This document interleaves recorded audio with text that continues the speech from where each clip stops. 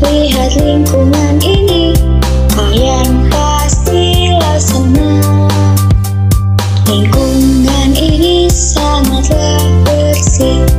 Bersih itu tanda iman kita. Terhadap apa? Terhadap Tuhan. Kebersihan itu